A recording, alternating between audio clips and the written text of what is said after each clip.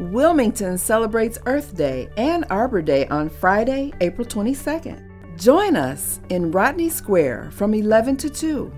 Take home free native plants and other giveaways. Visit booths from local vendors offering green products and services. Enjoy educational activities for the whole family.